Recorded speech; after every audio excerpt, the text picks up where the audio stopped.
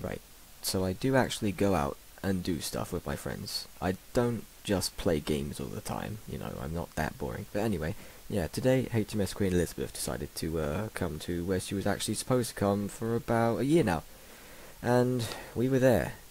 It's a majestic freaking thing.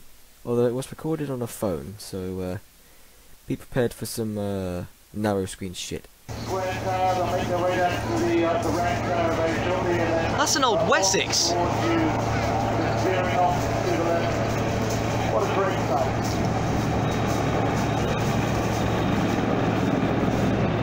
Listen to that. It sounds so majestic.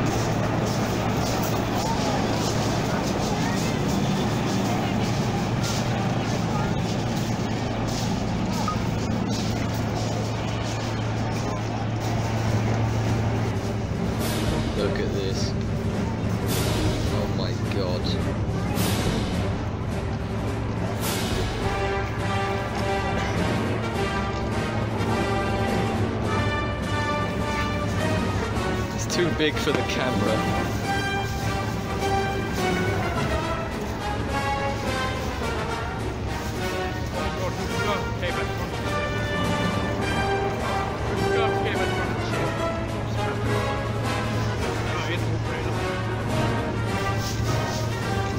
See into the hangar.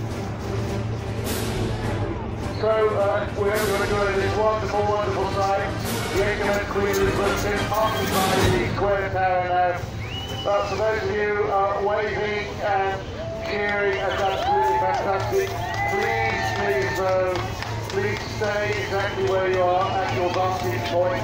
If you move, uh, you will encounter too many people and you won't be able to enjoy the sights you are. Just stay exactly where you are. Those you on there's a lot of bikes around. Will you please get off your bikes and uh, push them because uh, we don't want to have any accidents this morning. Thank you.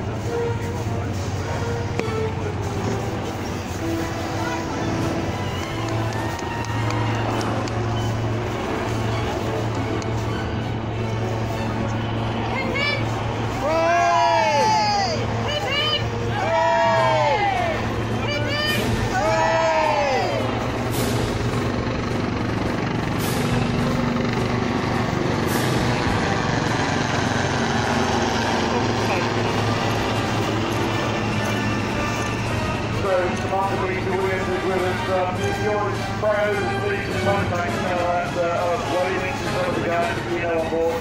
All 700 personnel, uh, they're all standing and uh, for those who uh, don't know, um, they're all looking uh, there's a, a, a group in uh, what looks like white boiler suits. Uh, what are they saying?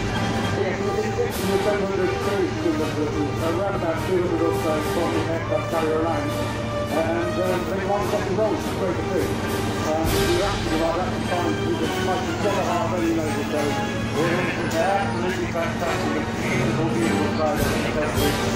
Um, for those who know aircraft carriers, um, we have two we call islands. We have the fore and the, the aft islands. This is very unique to the aircraft carriers.